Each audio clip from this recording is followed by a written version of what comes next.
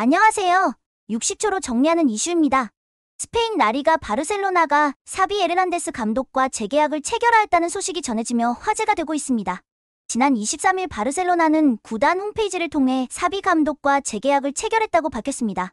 사비 감독은 뛰어난 지도력으로 2021년 바르셀로나로 부임한 이래 총 96경기를 소화하며 60승 17무 19패의 성적을 거두었고 팀의 라리가 우승과 스페인 슈퍼컵 우승을 달성시킨 바 있습니다.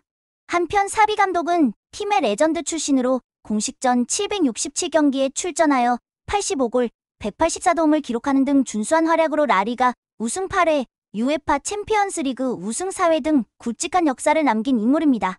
이상으로 사비 에르난데스 감독이 바르셀로나와 재계약을 체결했다는 소식 전해드렸습니다. 더 자세한 내용은 고정 댓글, 링크를 통해 보실 수 있습니다. 구독과 좋아요 부탁드립니다. 감사합니다.